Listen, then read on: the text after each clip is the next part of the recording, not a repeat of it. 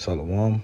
First and foremost, we'd like to give all honor, all praises, all glory to Yahweh, by Yahweh Shai, by Hashem, Rakakwadash, Yahweh, the Heavenly Father, who the Word only calls God, Yahweh Shai, the only begotten Son, who the Word only calls Jesus Christ.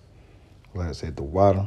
Thank you to Yahweh, by Hashem, Yahweh Shai, for the Rakakwadash. The Rakakwadash is the Holy Spirit, which is the driving force behind these videos.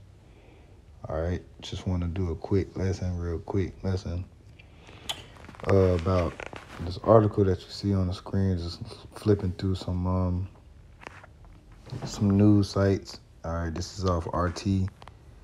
All right, and um, it's going in on inflation. So I'm uh, read a little bit of this and bring out a couple scripts.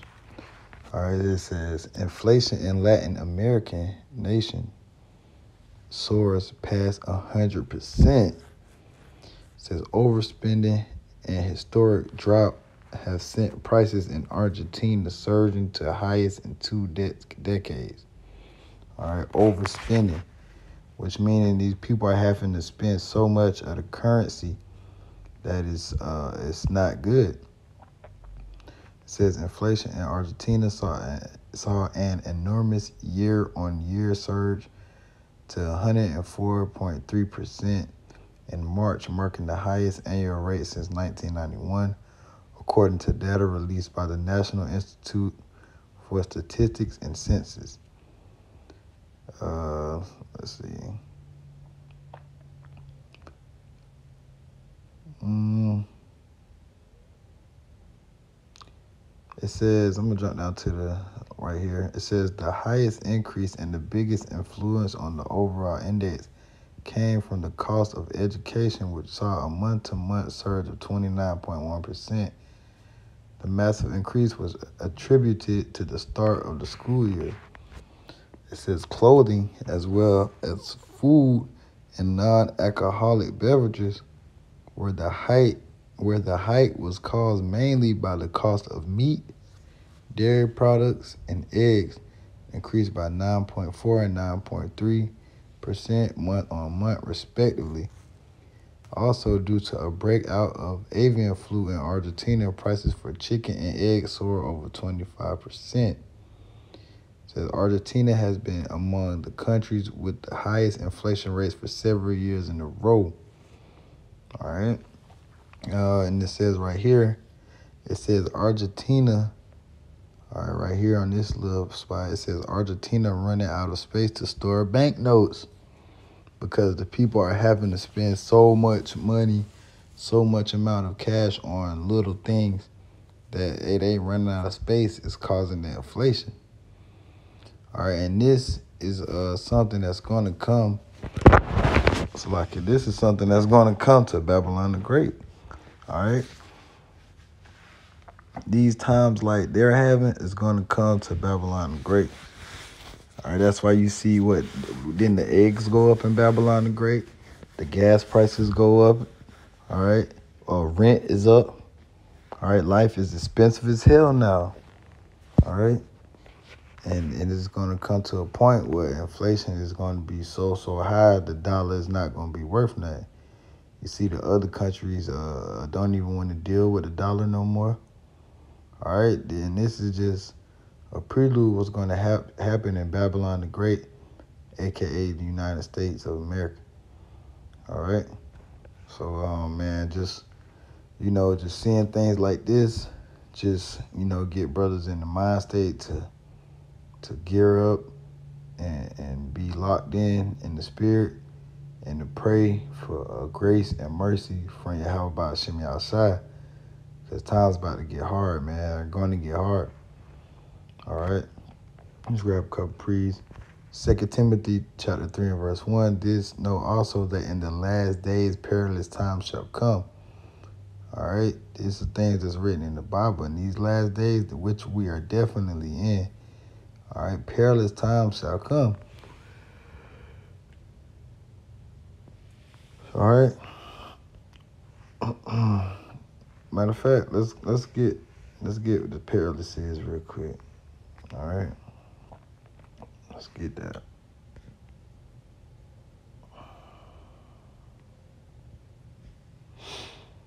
All right, the scripture says uh, perilous times are gonna come, man.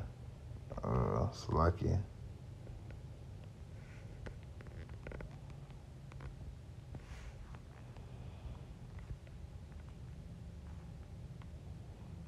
This is uh, in the Greek G fifty four sixty seven.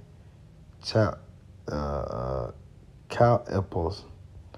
It says hard to do, to take, to approach, hard to bear, troublesome, dangerous, harsh, fierce, savage.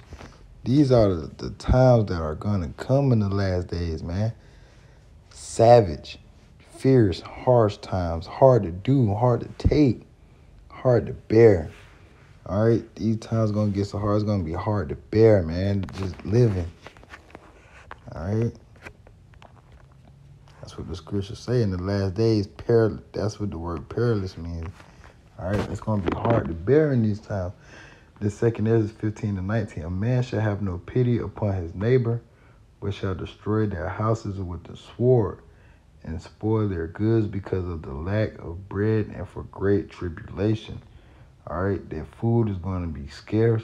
The food is going to be uh, hard to obtain. It's going to be so expensive. All right, life is just going to be uh, uh, hard to bear, as it says, man, in perilous times. All right, and what's going to happen?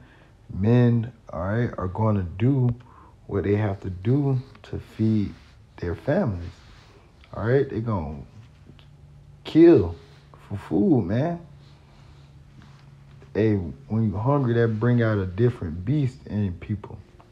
All right, people are gonna damn rob, steal, and kill for food, man. All right. It says a man should have no pity upon his neighbor. Ain't gonna be no pity. A man not gonna give a damn if you and your family ate. He gonna be trying to feed him and his family. It says, but shall destroy their houses with the sword.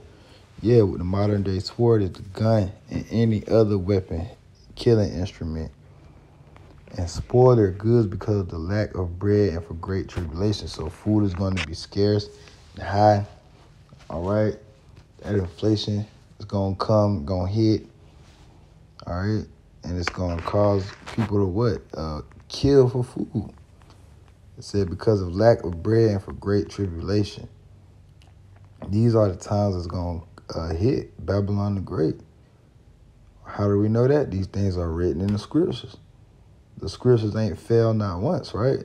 All these prophecies have come to pass, and some more still to come. And these are one of them that's going to come. It's Matthew 24 and 21. For there shall be great tribulation such as was not since the beginning of the world to this time, no, nor ever shall be. So these times going to be so harsh that uh, it was not seen since the beginning of the world. And the world has seen harsh tribulation. You had the flood, all right, you had 70 AD, all right, you had uh, the transatlantic slave trade. You had harsh times in the world before, man. But what these times is going to be great tribulation such as was not seen, man. And it's a uh, it's a low key scary thing to think about these things, man. Cause we've been in Babylon the Great so long, everything is easy, ready, available. You want something to eat, all you gotta do is go to the store real quick. You know, got EBT, you know things have been uh, easy in Babylon the Great. You ain't got to hunt for your food. You want some chicken, you go in the store and get some chicken. Of course, you gotta uh, get the money to get it. You can't. You gotta work. All right. But a tribulation is going to be such as was not since the beginning of the world.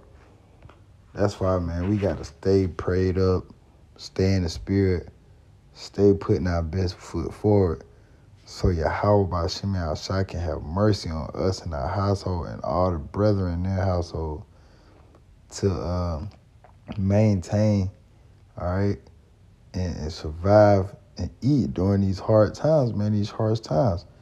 Scriptures tell you in Jeremiah that the Lord said what his servants gonna eat. So that gives us the faith to uh, uh, to go hard in the truth and do what we need to do to uh, to be safe during these perilous times because these times are going to come. This is Psalms chapter 9 and verse 9. The Lord also will be a refuge for the oppressed, a refuge in times of trouble. Yeah, a time of trouble is coming, and we want Yahweh by Hashem Yahushai to be our refuge, to be our uh, rock, to be our safety net. Because he controls everything, man. The Lord is going to uh, hide and shield and protect his elect. All right. In the time of Jacob's trouble.